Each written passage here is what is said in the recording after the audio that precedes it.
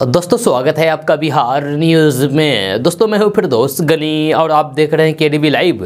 दोस्तों, आज हो चुका है 9 जनवरी 2022 तो आज की बिहार की टॉप न्यूज़ लेकर आए हैं आपके लिए। दोस्तों, वीडियो स्टार्ट करने से पहले आपसे एक रिक्वेस्ट है। अगर आप नए आए हैं इस चैनल पर तो फिर इस चैनल को सब्सक्राइब करके बेलाइकन को भी प्रेस कर दीजिए और साथ में वीडियो को लाइक कर दीजिए, अपने दोस्तों के साथ शेयर भी कीजिए। तो चलिए दोस्तों, स्टार्ट करते हैं आज की पूरे बिहार की टॉप न्यूज़। दोस्तों, आज बिहार न्यूज़ में सबसे पहले शुरू करते हैं उत्तर प्रदेश से। जी हाँ तो उत्तर प्रदेश में मैं विधानसभा चुनाव 2022 का आगाज़ हो चुका है। कल यानी कि शनिवार को चुनाव आयोग ने वोटिंग की तारीखों का ऐलान कर दिया है। मुख्य चुनाव आयुक्त तो सुशील चंद्रा के मुताबिक विधानसभा चुनाव के लिए यूपी में सात चरणों में मतदान कराए जाएँगे। यूपी में पहले फ़ेज़ का मतदान 10 फरवरी, दूसरा फ़ेज़ 14 फरवरी, तीसरा फ़ेज़ 20 फरवरी, चौथा फ़ेज़ 23 फरवरी, पांचवा फ़ेज़ 27 फरवरी, तीन मार्च को छठे और सात मार्च को सातवें चरण के लिए वोटिंग होगी। जबकि 10 मार्च को चुनाव के नतीजे की घोषणा की जाएगी, यानी कि मतगणना होगी। कोरोना महामारी के बढ़ते प्रकोप को देखते हुए चुनाव आयोग ने कोविड प्रोटोकॉल के तहत चुनाव प्रचार कराने का आश्वासन दिया है। पोलिंग बूथ पर मतदाताओं के बीच सोशल डिस्टेंसिंग के साथ साथ मास्क, थर्मल स्कैनर और सैनिटाइजर का भी पूरा ध्यान रखा जाएगा। दोस्तों, बात करते हैं कि बिहार के अररिया में यूरिया खाद की किल्लत को लेकर किसानों की परेशानी कम होने का नाम नहीं ले रही है। खाद की कमी को लेकर किसानों के बीच हाहाकार मचा हुआ है। कल सुबह खाद नहीं मिलने के कारण नाराज़ किसानों ने जिला मुख्यालय में स्थित टाउन हॉल के पास मुख्य सड़क को जाम करके विरोध प्रदर्शन किया। जहाँ सड़क जाम की वजह से मुख्य मार्ग पर आवागमन पूरी तरीके से बाधित हो गया। जी हाँ आपको बता दूँ कि खाद नहीं मिलने से किसानों को भारी समस्या हो रही है। किसान अपने खेतों में रबी फ़सल की बुआई कर चुके हैं। पटवन के बाद फ़सल में डालने के लिए अब यूरिया की ज़रूरत है, लेकिन मार्केट से यूरिया गायब है। खाद की मारामारी से किसान आक्रोश में है। दोस्तों, बात करते हैं कि बिहार में कोरोना के बढ़ते मामलों के कारण सरकार ने जहाँ तमाम स्कूल, कॉलेजों और कोचिंग संस्थानों को बंद करने का आदेश दिया है, वहीं दूसरी तरफ़ बिहार स्कूल एग्जामिनेशन बोर्ड यानी कि बीएसईबी ने लगभग ये साफ़ कर दिया है कि परीक्षा की निर्धारित तिथियों में ही कोई बदलाव नहीं किया जाएगा। जब बोर्ड ने कल दसवीं बोर्ड की परीक्षा का एडमिट कार्ड जारी कर दिया है, यानी कि मैट्रिक का एडमिट कार्ड जारी कर दिया है। इन एडमिट कार्ड को स्कूल हेड डाउनलोड कर सकेंगे। वही छात्र अपना एडमिट कार्ड स्कूल से हासिल कर सकते हैं। पिछले दिनों ये चर्चा हो रही थी कि कोरोना के कारण बिहार बोर्ड परीक्षा की तिथि में बदलाव हो सकता है, लेकिन बीएससीबी ने इसमें अब तक कोई बदलाव नहीं किया है। दोस्तों, बात करते हैं कि स्कूल में 12 जनवरी को होने वाले सूर्य नमस्कार कार्यक्रम को लेकर सियासत तेज हो गई है।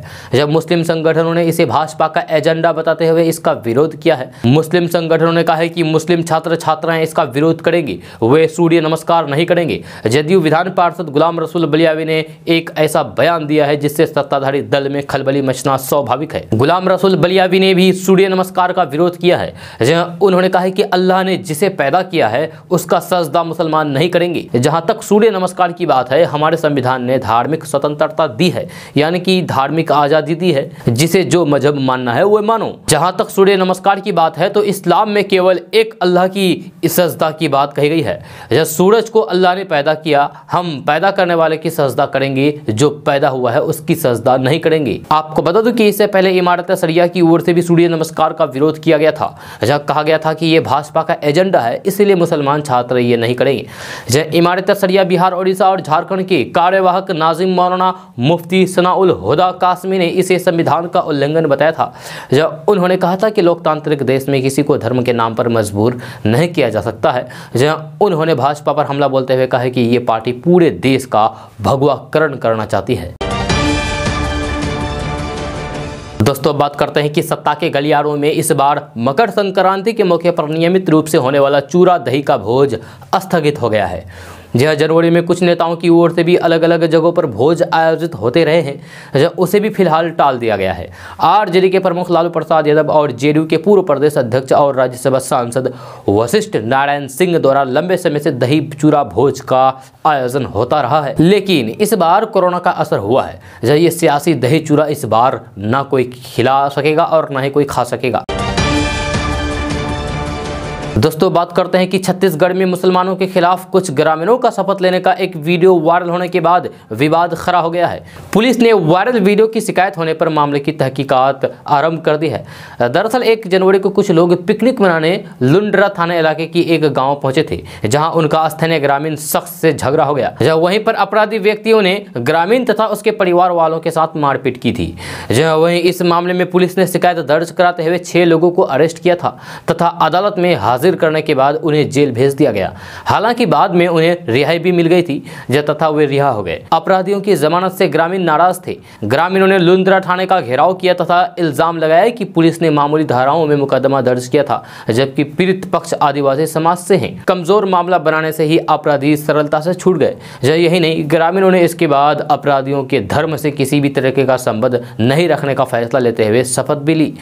शपथ का ये वीडियो अब सोशल मीडिया पर वायरल हो रहा है। वही वायरल वीडियो में कुछ लोग हाथ आगे करके शपथ लेते हुए नज़र आ रहे हैं। जब वे मुसलमानों से किसी भी तरह के संबंध न रखने की बात बोल रहे हैं, वे बोल रहे हैं कि वे उनसे यानी कि मुसलमानों से किसी भी तरह का संबंध नहीं रखेंगे। जब वे उनके धर्म से यानी कि मुसलमानों से जुड़े लोगों की दुकानों में चीज़ें नहीं खरीदेंगे तथा न ही उन्हें ज़मीन बेचेंगे। जब वही पुलिस द्वारा मामले की जाँच की जा रही है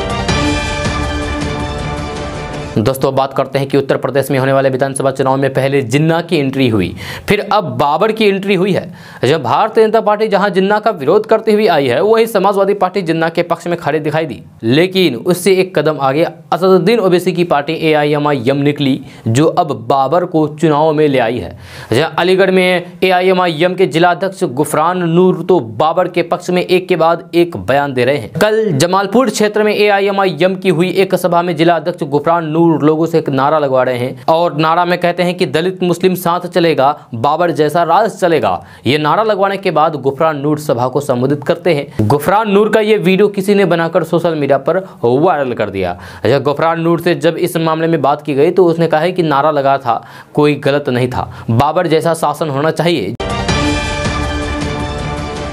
दोस्तों, बात करते हैं कि वाराणसी में गंगा घाटों के पास विवादित पोस्टर लगाए जाने के बाद अब वीएचपी यानी कि विश्व हिंदू परिषद और बजरंग दल ने इनसे दूरी बना ली है। जबकि इन पोस्टरों पर विश्व हिंदू परिषद और बजरंग दल काशी की मुहर भी लगी हुई थी। इन पोस्टरों पर लिखा हुआ था कि प्रवेश प्रतिबंधित गैर हिंदू अब दोनों ही संगठनों का कहना है कि इस तरह के विवादों से उनका कोई लेना देना ही नहीं है। जब विश्व हिंदू परिषद के राष्ट्रीय प्रवक्ता विनोद बंसल ने कहा है कि इस मामले में जाँच कराई जाएगी और जो भी दोषी होगा उस पर कार्रवाई होगी। उन्होंने कहा कि वीडियो में दिखाई दे रहे लोगों की भी पहचान करने की कोशिश की जा रही है। उन पर भी एक्शन लिया जाएगा। जब पुलिस ने कहा कि मामले की जाँच शुरू कर दी गई है, वाराणसी के एएसपी राजेश कुमार पांडे ने कहा कि हम उन लोगों की पहचान करने की कोशिश कर रहे हैं, जिन लोगों ने ऐसे पोस्टर लगवाए हैं। उन्होंने कहा कि सभी पोस्टर हटा दिए गए हैं और दोषियों पर कड़ी कार्रवाई की जाएगी। इन पोस्टरों पर विश्व हिंदू परिषद और बजरंग दल के निशान बने हुए थे। इसमें कहा गया था कि काशी के मंदिर भारतीय संस्कृति को दर्शाते हैं और जो लोग सनातन धर्म को नहीं मानते हैं, उनको घाटों पर आने से प्रतिबंधित किया जाता है। जहाँ उसी दिन दो लोगों ने वीडियो भी जारी किया था। सोशल मीडिया पर वीडियो पोस्ट करते हुए दावा किया गया था कि वे लोग बजरंग दल और विश्व हिंदू परिषद से हैं। जब वीडियो में राजन गुप्ता नाम के शख्स ने कहा था कि वे विश्व हिंदू परिषद का काशी महामंत्री भी हैं। उसने कहा था कि गंगा घाट और मंदिर सनातन धर्म के परिचायक हैं। वे आस्था का केंद्र है। ये कोई पिकनिक स्पॉट नहीं है। अगर कोई सनातन धर्म में आस्था रखता है तो फिर उसका स्वागत है। अगर नहीं रखता है तो फिर वह उसे यहाँ से दूर ही रहना चाहिए। यानी कि जो हिंदू है, वही जा सकते हैं वहाँ पर। जो हिंदू नहीं है तो वो वहाँ पर नहीं जा सकते। दोस्तों, बात करते हैं कि प्रधानमंत्री नरेंद्र मोदी की सुरक्षा में चूक के मामले पर कांग्रेस नेता उदित राज ने विवादित बयान दिया है। उदित राज ने ट्वीट किया है और कहा है कि प्रधानमंत्री नरेंद्र मोदी ने सत्ता की भूख के लिए खुद पुलवामा कांड कराया था।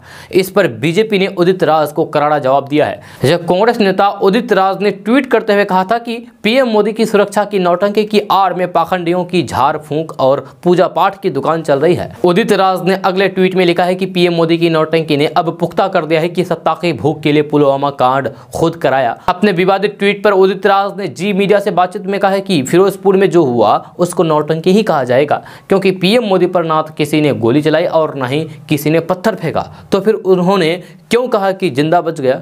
बेवजह मामले को तुल दिया जा रहा है। दोस्तों, बात करते हैं कि कोरोना के बढ़ते मामले के बीच एक बार फिर से पलायन का सिलसिला शुरू हो गया है। जहाँ मिली जानकारी के अनुसार महाराष्ट्र के मुंबई में पिछले 24 घंटे में बीस हज़ार से ज़्यादा कोरोना के नए केस मिले हैं और इनमें से कई लोगों की मौत भी हो चुकी है। इसके बाद वहाँ से बिहार एवं यूपी के मजदूरों का पलायन फिर से शुरू हो गया है। जब कोरोना के इस बढ़ते संक्रमण से वहाँ काम करने वाले प्रवासी मजदूर डर गए हैं और अपने घरों के लिए पलायन करने में लगे हुए हैं। जहाँ इन्हें सख्त गाइडलाइंस और फिर लॉकडाउन का भय सताने लगा है। मुंबई के लोकमान्य तिलक स्टेशन पर मजदूर तबके के लोग बिना कंफर्म टिकट के ही ट्रेन पकड़ने आ रहे हैं और किसी तरीके से वापस घर जाने की बात कर रहे हैं। जब मीडिया से बात करते हुए बिहार के कुछ यात्रियों ने बताया है कि वे लोग किसी तरीके से वापस अपने घर को लौटना चाहते हैं ताकि लॉकडाउन लगने पर उन्हें ज़्यादा दिक्कतों का सामना न करना पड़े। जब वह किसी तरीके से ट्रेन में चढ़ कर और टीटीई को जुर्माना देकर के अस्थायी टिकट बनवाकर घर पहुँच जाएँगे। बड़ी संख्या में बिहार यूपी के मजदूरों के रेलवे स्टेशन पहुँचने से स्थानीय पुलिस को भी परेशानी हो रही है। भीड़ की वजह से यहाँ कोरोना गाइडलाइंस का पालन नहीं हो पा रहा है। जब वहीं पुलिस इन स्टेशनों पर चाहकर भी भीड़ को नहीं रोक पा रही है। दोस्तों, बात करते हैं कि पंजाब के मुख्यमंत्री चन्नी ने पीएम मोदी की सुरक्षा को खतरा को नौटंकी करार दिया है। एक रैली में पंजाब सीएम चन्नी ने कहा है कि क्या पीएम मोदी पर किसी ने पत्थर फेंका? प्रधानमंत्री नरेंद्र मोदी के पंजाब दौरे के दौरान सुरक्षा चूक को लेकर पंजाब के मुख्यमंत्री चरणजीत सिंह चन्नी बीजेपी की आलोचनाओं का सामना कर रहे हैं। जब बीजेपी के कई बड़े नेताओं ने पंजाब सरकार को बर्खास्त करने की भी मांग कर डाली है। इस बीच चन्नी ने एक रैली में इस मुद्दे को उठाते हुए प्रधानमंत्री नरेंद्र मोदी पर जमकर हमला बोला है। एक रैली को संबोधित करते हुए चरणजीत सिंह चन्नी ने तंज कसते हुए कहा कि पूरे देश में झूठ फैलाया जा रहा है कि पीएम मोदी की सुरक्षा में कोई चूक की गई थी। जब वीडियो में वे कहते हैं कि तुझे क्या किसी ने पत्थर फेंका था, पत्थर मारा था, कोई खरोच आई, कोई गोली चलाई या फिर किसी ने तेरे खिलाफ नारे लगाए, जो पूरे देश में ये फैलाया जा रहा है कि प्रधानमंत्री की जान को खतरा हो गया। मुख्यमंत्री चरणजीत सिंह चन्नी ने कहा कि नरेंद्र मोदी की जान को खतरे की नौटंकी का उद्देश्य राज्य में लोकतांत्रिक ढंग से चुनी गई सरकार को गिराने का है। चन्नी ने कहा कि प्रधानमंत्री देश के एक सम्मानित नेता है, लेकिन उनके कद के नेता को इस तरह की घटिया नौटंकी में शामिल होना शोभा नहीं देता है। मुख्यमंत्री चरणजीत सिंह चन्नी ने कहा कि अगर प्रदर्शनकारी एक किलोमीटर से अधिक दूरी पर थे तो फिर प्रधानमंत्री की जान को खतरा कैसे हुआ? जहाँ उन्होंने कहा कि जहाँ मोदी का काफिला रुका, वहाँ एक नारा तक भी नहीं लगा तो फिर उनकी जान को खतरा कैसे हो सकता है? दोस्तों, बात करते हैं कि शुक्रवार की सुबह जब सोशल मीडिया यूज़र्स अलग अलग प्लेटफॉर्म पर आए तो उन्हें बड़ी तेज़ी के साथ वायरल होता एक वीडियो नज़र आया। अच्छा इस वीडियो में एक महिला हाथ में तलवार लिए उसे भांज रही है और दूसरे हाथ में उसने त्रिशूल ले रखा है।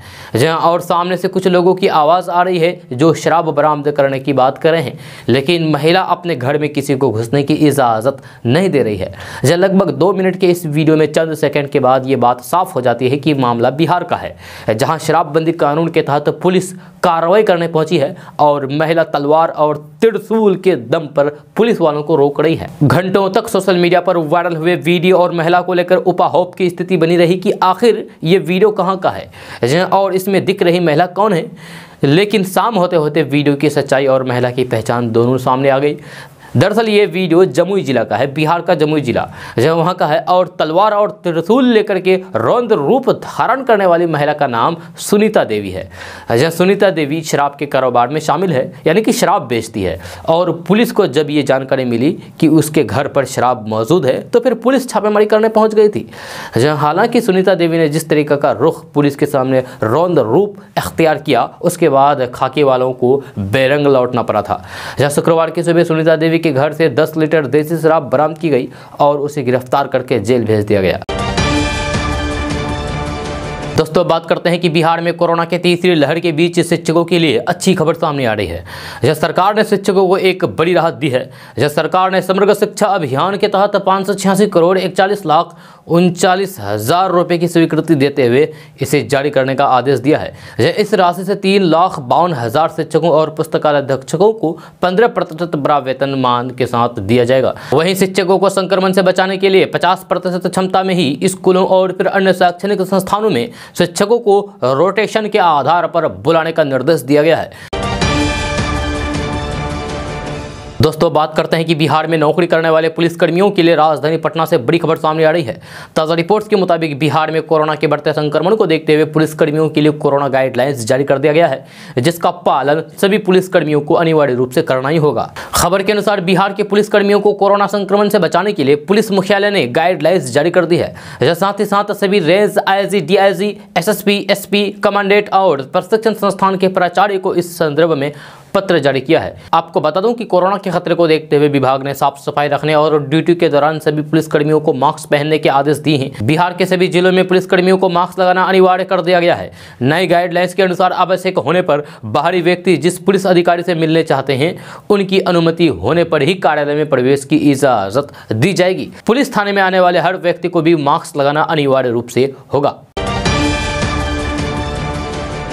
दोस्तों बात करते हैं कि पाँच राज्यों में होने वाले विधानसभा चुनाव के लिए चुनाव आयोग ने 15 जनवरी तक सभी तरह की जनसभाओं पर रोक लगा दिया है। मुख्य चुनाव आयुक्त तो सुशील चंद्र ने कहा है कि राजनीतिक दलों को सुझाव है कि वे अपना कैंपेन डिजिटल तरीके से करें। उन्होंने कहा है कि इसके बाद स्थिति की समीक्षा की जाएगी और नए निर्देश जारी किए जाएँगे। जब तब तक कोई पद यात्रा, साइकिल यात्रा या फिर रोड शो नहीं होगा। जहाँ चुनाव आयोग ने कहा है कि चुनाव लड़ने वाले उम्मीदवारों को ऑनलाइन नामांकन दाखिल करने का विकल्प दिया जाएगा। जो कोविड नाइन्टीन की स्थिति को देखते हुए चुनाव आयोग ने कहा है कि सभी मतदान केंद्र पर सैनिटाइजर और मास्क जैसी कोविड से बचाव की सुविधा उपलब्ध होगी। दोस्तों, बात करते हैं कि प्रधानमंत्री नरेंद्र मोदी की सुरक्षा में चूक के बाद उनके बयान की, मैं ज़िंदा लौट आया इस पर कांग्रेस के वरिष्ठ नेता दिग्विजय सिंह का बयान सामने आया है। दिग्विजय सिंह ने नरेंद्र मोदी पर तंज कसते हुए कहा है कि प्रधानमंत्री पंजाब से ज़िंदा लौट गए, लेकिन 700 से अधिक किसानों को ज़िंदा घर नहीं लौटने दिया। उन्होंने आगे कहा है कि जर्मन के तानाशाह एडोल्फ हिटलर और नरेंद्र मोदी में कोई अंतर नहीं है। दिग्विजय सिंह का यह बयान तब सामने आया है जब कांग्रेस पार्टी की ओर से ट्वीट किया गया था कि भाजपा सरकार के तीन कृषि कानूनों का विरोध कर रहे किसान, सात सौ से ज़्यादा किसान घर नहीं लौट पाए। जहाँ कांग्रेस नेता दिग्विजय सिंह ने एक और ट्वीट में कहा है कि पहले हिंदू खतरे में था, लेकिन अब पीएम खुद खतरे में है। प्रधानमंत्री खतरे में नहीं, केवल प्रधानमंत्री की कुर्सी खतरे में है। दोस्तों, बात करते हैं कि सरकार की पीएम जनधन योजना को सात साल पूरे हो चुके हैं। आम जनता ने सरकार की इस योजना को काफ़ी पसंद किया है। इस योजना के तहत खोले गए खातों की संख्या कुछ ही सालों में तीन गुना हो गई है। वित्तीय सेवा विभाग ने ट्वीट करके इस बारे में जानकारी दी है। जब ट्वीट में लिखा गया है कि पीएम जनधन योजना के खातों में तीन गुना का इजाफा हो गया है। आपको बता दूँ कि मार्च दो हज़ार पंद्रह में खातों की संख्या चौदह करोड़ बहत्तर लाख से बढ़कर अब तक तैतालीस करोड़ अकाउंट हो गए हैं। जब दुनिया की सबसे बड़ी इस वित्तीय समावेश पहल ने गरीब लोगों के लिए बैंकों के दरवाजे खोल दिए और उन्हें जनधन खाते की पासबुक और रुपए कार्ड की नई ताकत दी है। दोस्तों, बात करते हैं कि जाति आधारित जनगणना के मसले पर बिहार की सियासत नए सिरे से करवट लेती दिख रही है। जब बिहार की सरकार में सहयोगी दो प्रमुख दलों, भाजपा और जेडीयू के स्टैंड अलग होने और फिर राजद, जेडीयू का एक जैसा नज़रिया होने से ऐसी कयासों को बल मिल रहा है। इस बीच आरजेडी के प्रदेश अध्यक्ष जगदानंद सिंह ने जेडीयू को खुला ऑफ़र दे दिया है कि वे जाति आधारित जनगणना के मसले पर बेफिक्र होकर आगे बढ़े। यह आरजेडी उनका साथ देगा। इसके बाद सियासी माहौल और गर्म हो गया है। कयास लगने लगे हैं हैं कि भाजपा और जेडीयू का गठबंधन टूटकर क्या आरजेडी और जेडीयू के बीच फिर से तालमेल होगा? इस सवाल का अब आरजेडी के बड़े नेता तेजस्वी यादव ने जवाब दे दिया है। आरजेडी के प्रदेश अध्यक्ष जगदानंद सिंह द्वारा जातिगत जनगणना के मुद्दे पर मुख्यमंत्री नीतीश कुमार को आमंत्रित करने के अगले दिन नेता प्रतिपक्ष तेजस्वी यादव ने भी प्रतिक्रिया दी है। उन्होंने कहा कि इस मुद्दे पर जेडीयू के नेता सिर्फ़ नौटंकी कर रहे हैं।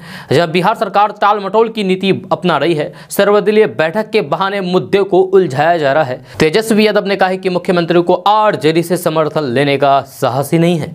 नेता प्रतिपक्ष तेजस्वी यादव ने कहा कि जातिगत जनगणना जनगणना का मुद्दा नीतीश कुमार के एजेंडे में कभी था ही नहीं। जब सबसे पहले इसकी मांग लालू प्रसाद यादव ने की थी। आरजेडी के दबाव में ही दो दो बार बिहार विधानसभा से जातिगत जनगणना का प्रस्ताव पास किया गया, जिसका भाजपा समेत सबने समर्थन किया। हालाँकि बाद में जब केंद्र सरकार यानी कि मोदी सरकार ने साफ़ शब्दों में कह दिया है कि जातिगत जनगणना नहीं कराई जाएगी तो फिर बिहार सरकार को पहल करनी चाहिए थी ना? नहीं किया अभी तक। दोस्तों, बात करते हैं कि मुंबई में देश की पहली वाटर टैक्सी सेवा शुरू होने जा रही है। इस टैक्सी के ज़रिए दक्षिणी मुंबई में नवी मुंबई, बेलारपुर, जीएनपीटी और नेरुल का घंटों का सफ़र मिनटों में तय हो सकेगा। जानकारी के मुताबिक इसका किराया 200 से 750 रुपए तक होगा। जहाँ इन्फिनिटी हार्बन सर्विसेज़ कंपनी का दावा है कि इसी महीने प्रधानमंत्री नरेंद्र मोदी वाटर टैक्सी सेवा का उद्घाटन करेंगे। दरअसल माया नगरी मुंबई में सबसे ज़्यादा अहम है समय पर किसी जगह पर पहुँचना। वर्तमान में मुंबई की जनता का सबसे ज़्यादा वक्त बुरी ट्रैफ़िक की वजह से बर्बाद होता है। लेकिन अब लोग आम टैक्सी की तरह इस स्पीड बोट के ज़रिए, यानी कि नाव के ज़रिए दक्षिणी मुंबई से नवी मुंबई का या फिर बेलापुर मिनटों में पहुँच सकते हैं। दोस्तों, बात करते हैं कि बदलते समय में खेती किसानी की परिभाषा भी बदल रही है। जब खेती का मतलब अब धान, गेहूँ और मक्का उपजाना भर नहीं रहा। प्रगतिशील किसान पारंपरिक खेती को अलविदा कहने लगे हैं। बिहार के खगड़िया ज़िले के भोरकांठ, तेलिया, बथान आदि में सब्ज़ी की बंपर खेती की जा रही है। यहाँ एक हज़ार से अधिक एकड़ में किसान गोभी, टमाटर, बैगन और आदि की खेती करते हैं। वह बीते कुछ सालों से इस ओर उन्मुख हुए। किसान घनश्याम मंडल ने कहा है कि गोभी की खेती में दस के आसपास प्रति एकड़ खर्च होता है, लेकिन आमदनी आमदनी पचास हज़ार रुपए हो जाती है। किसान संजय सिंह और बिंदी मंडल ने बताया है कि वे मिश्रित खेती करते हैं। गोभी के साथ साथ गाजर और मूली भी उप जाते हैं। इस तरह से आमदनी दुगनी कर लेते हैं। उन्होंने बताया है कि एक एकड़ में साल में तीन फ़सल उपजा लेते हैं। मचान फ़ार्मिंग का भी सहारा लेते हैं। मचान फ़ार्मिंग का मतलब यह होता है कि मचान पर कद्दू, करेला उपजाते हैं और उसके नीचे बैगन, टमाटर की खेती करते हैं। जहाँ सब्ज़ी की खेती से गंगा किनारे के इस गाँव में संपन्नता आई है।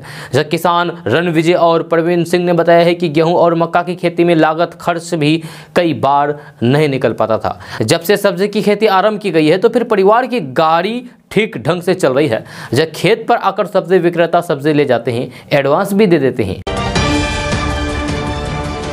दोस्तों, बात करते हैं कि केंद्रीय मंत्री नितिन गडकरी ने हाल ही में हरिद्वार और दिल्ली में हुए धार्मिक सम्मेलनों में नफरत भरे भाषण को लेकर बयान दिया है। एक टीवी चैनल से बात करते हुए उन्होंने कहा कि इसे नकारा जाना चाहिए और कोई महत्व नहीं दिया जाना चाहिए। ऐसे मामले में कानून को अपना काम करने देना चाहिए। आपको बता दूँ कि उत्तराखंड के हरिद्वार कथित नफरती भाषण के मामले में अब तक केवल पाँच लोगों का ही नाम लिया गया है। केंद्रीय मंत्री नितिन गडकरी ने कहा कि मेरे विचार में स्वामी विवेकानंद ने सेगाओं में धार्मिक सम्मेलन में यह सब कहा कि हमारा धर्म सहिष्णुता सादगी समावेश पर आधारित है। हमारे राजनेताओं ने कभी किसी की पूजा की जगह नहीं तोड़ी।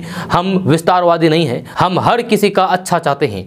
उन्होंने कहा कि ये हमारी विरासत और हमारा दृष्टिकोण है। इसीलिए जो भी इसके खिलाफ जाता है, वह हमारा दृष्टिकोण नहीं है। इसे नकार दिया जाना चाहिए और कोई महत्व नहीं दिया जाना चाहिए। दोस्तों, बात करते हैं कि बिहार में कोरोना तेज़ी से वीआईपी यानी कि खास लोगों को अपने सिकंजे में ले रहा है। जब दोनों डिप्टी सीएम, पूर्व सीएम जीतन राम मांझी के परिवार, मोदी सरकार में मंत्री नित्यानंद राय और अश्विनी चौबे के बाद अब मंत्री मुकेश सहनी और कांग्रेस के प्रदेश अध्यक्ष मदन मोहन झा भी संक्रमित हो गए हैं। यही नहीं, उद्योग मंत्री एवं वरिष्ठ भाजपा के नेता शाहनवाज हुसैन भी कोरोना की चपेट में आ गए हैं। यानी कि शाहनवाज हुसैन को भी कोरोना हो गया है। पशुपालन मंत्री और वीआईपी के अध्यक्ष मुकेश सहनी के संक्रमित होने की जानकारी पार्टी प्रवक्ता देव ज्योति ने दी है। जब प्रवक्ता ने कहा है कि पिछले दिनों मंत्री कई लोगों के संपर्क में आए थे, जो उनमें से कुछ लोगों को कोरोना हो चुका है। इस कारण मंत्री ने भी अपनी कोरोना जाँच कराई तो फिर वे पॉजिटिव निकले। दोस्तों बात करते हैं कि बिहार में अब ज़मीन के दस्तावेजों की नकल लेने के लिए रैयतों को अंचल कार्यालय का चक्कर काटना पड़ता है। लेकिन सरकार अब जल्द ही इस परेशानी को खत्म करने की कोशिश करने लगी है। राजस्व एवं भूमि सुधार विभाग के अंदर दस्तावेजों को ऑनलाइन निकाल पाने की व्यवस्था बन रही है। कैबिनेट की मंजूरी के लिए प्रस्ताव तैयार किए जा रहे हैं, जिसके बाद दस्तावेजों के नकल घर बैठे ऑनलाइन ले सकेंगे। ज़मीन से जुड़े दस्तावेज़ अब बिहार में ऑनलाइन मिलेगा। जब मीडिया रिपोर्ट्स के अनुसार भूमि सुधार विभाग इसे लेकर प्रस्ताव तैयार कर रहा है। जानकारी के अनुसार पहले चरण में यह सुविधा म्यूटेशन और ऑनलाइन सेवाओं में दी जाएगी। आपको बता दूँ कि सभी दस्तावेजों की नकल ऑनलाइन मिलने लगेगी। कैबिनेट से इसे मंजूरी मिलने भर की देरी है। जन नकल पर अधिकारियों का डिजिटल हस्ताक्षर रहेगा। मीडिया रिपोर्ट्स के अनुसार अंचल कार्यालय को ऑनलाइन आवेदन मिलने के तीन दिन के अंदर ही नकल उपलब्ध करा दिए जाएँगे। दोस्तों, अब खबर समस्तीपुर से है, जहाँ इन दिनों चोरों का आतंक इलाके में काफ़ी बढ़ गया है। बीती रात भी एक ज्वेलरी दुकान का शटर तोड़ करके लाखों रुपए के जेवरात पर हाथ साफ़ करते चल बने। जब मामला समस्तीपुर ज़िले के मुफसिल थाना इलाके का है, जहाँ मोहन ज्वेलर्स नामक ज्वेलरी दुकान में शटर तोड़ करके लाखों के आभूषणों की चोरी कर ली है। घटना की जानकारी मिलते ही स्थानीय व्यवसायियों में पुलिस प्रशासन के खिलाफ काफ़ी गुस्सा है। व्यवसायियों का आरोप है कि पुलिस को घटना की जानकारी देने के बाद भी कई घंटे लेट से छानबीन करने पहुँची। व्यवसायियों का कहना है कि अगर पुलिस रात्र में सक्रिय रूप से गश्ती करती तो फिर चोर, चोरी की घटना नहीं होती। जब पुलिस की लापरवाही के कारण ही आए दिन इस चौक पर चोरी की घटना होती रहती है। दोस्तों, कड़ाके की ठंड झेल रहे बिहार के लिए अगले बहत्तर घंटे में और ज़्यादा परेशानी बढ़ सकती है।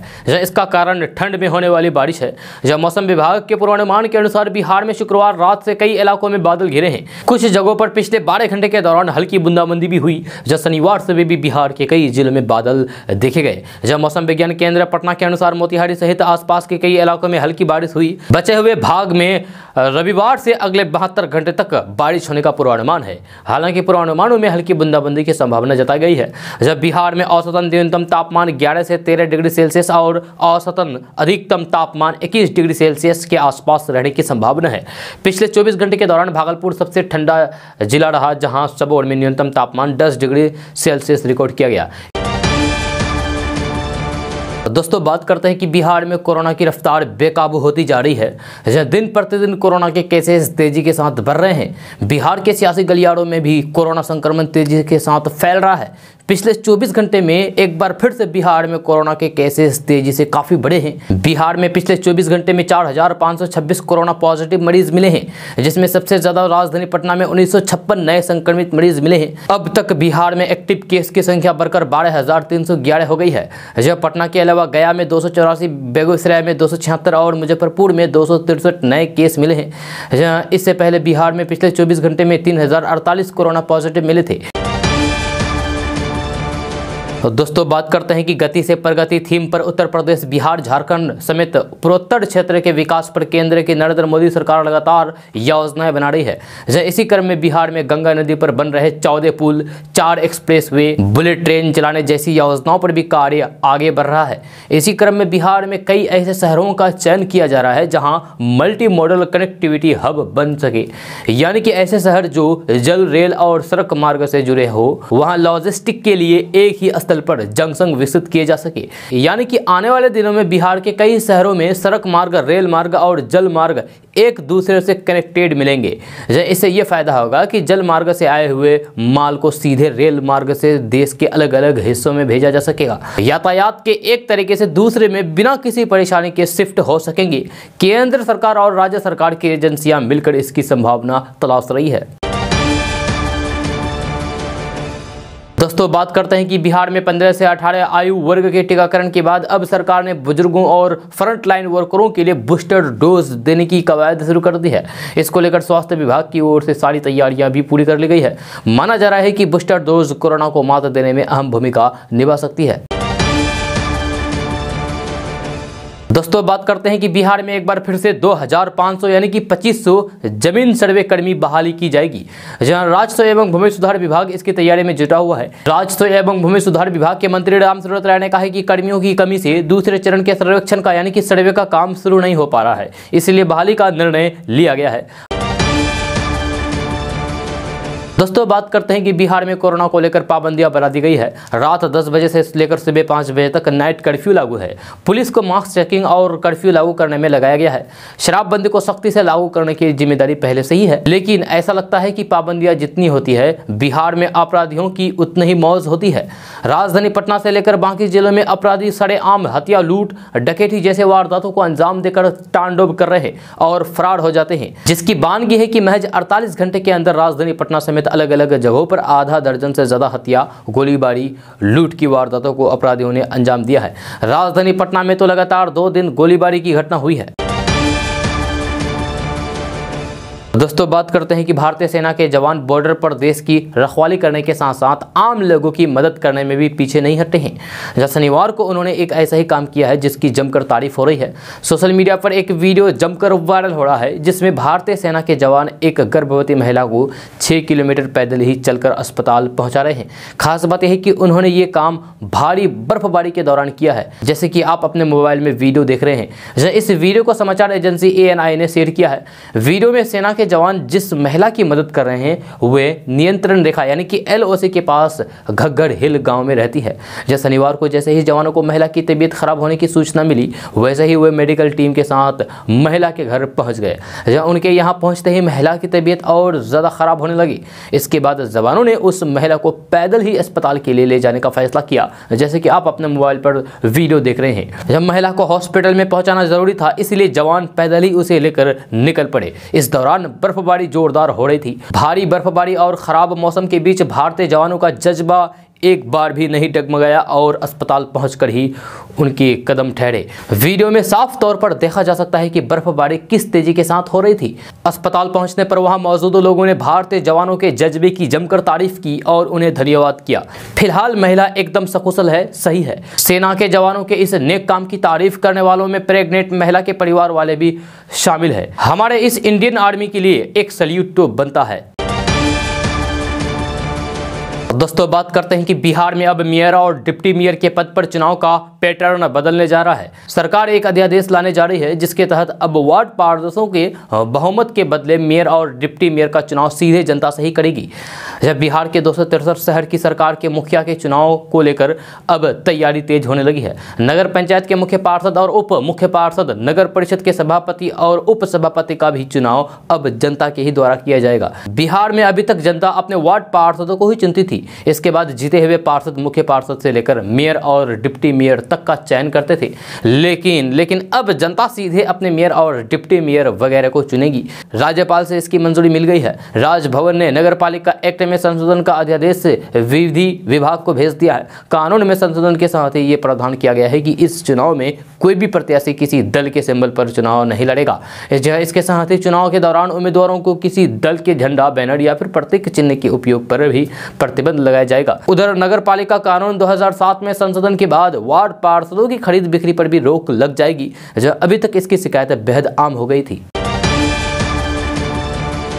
दोस्तों, बात करते हैं कि बिहार के सियासी गलियारों से इस वक्त की ताज़ा खबर सामने आ रही है। जब बिहार में कोरोना की तीसरी लहर को देखते हुए राष्ट्रीय जनता दल यानी कि आरजेडी के कार्यालय को बंद कर दिया गया है, आरजेडी के प्रदेश अध्यक्ष जगदानंद सिंह के आदेश से आरजेडी का प्रदेश कार्यालय अगले सूचना तक बंद रखने का फैसला किया गया है। पार्टी के प्रवक्ता चित्तरंजन गंग ने इस बात की जानकारी दी है। जब कोरोना संक्रमण के कारण आरजेडी के प्रदेश कार्यालय को बंद कर दिया गया है